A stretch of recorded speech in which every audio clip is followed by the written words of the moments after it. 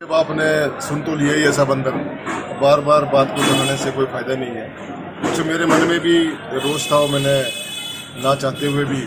हालाँकि मुझे ऐसा नहीं करना चाहिए था एक वरिष्ठ पदाधिकारी होने के नाते, लेकिन मैं अपने आप को रोक नहीं पाया। पिछले काफ़ी लंबे समय से पार्टी के अंदर कुछ लोग जो हैं वो पार्टी को तोड़ने का काम कर रहे हैं और विधायक को जो है परेशान करने की कोशिश कर रहे हैं, अपने ही पार्टी के। तो उस वजह से थोड़ा सा रोष गुस्से में आके आज पहली बार अपने 40 वर्ष की राजनीति में ऐसा गुस्सा मुझे आया और मैंने जो भी मेरे मन में आया, मैंने बोल क्या बोला मुझे तो भी याद ऐसा नहीं होना चाहिए था, दुर्भाग्यपूर्ण हुआ। इसके लिए मैं सभी कांग्रेस पार्टी के जो हमारे निष्ठावान कार्यकर्ता हैं, उनसे मैं क्षमा चाहूँगा। और जिलाध्यक्ष महोदय से भी क्षमा चाहूँगा कि मुझसे जो भी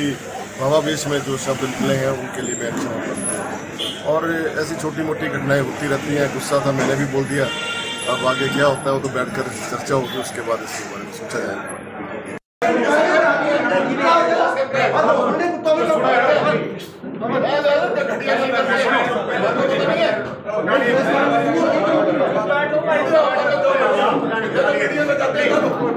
फेसबुक में जाके उल्टा पल्टा लिखते हैं वीडियो में जाके उल्टा सीधा लिखते हैं तब इनको पता नहीं लगता ये हम क्या लिख रहे हैं जो फेसबुक के ऊपर ये होता है वो होता है जब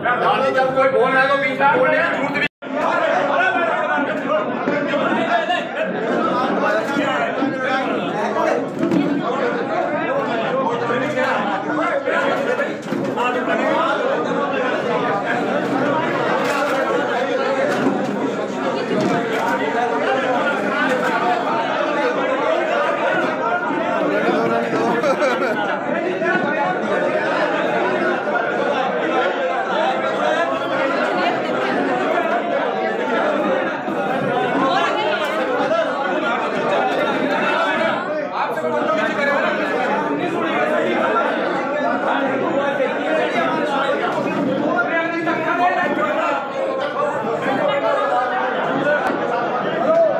फेसबुक पर पोल स्टार हिमाचल का पेज लाइक करें और यूट्यूब पर हमारा चैनल सब्सक्राइब करना ना भूलें।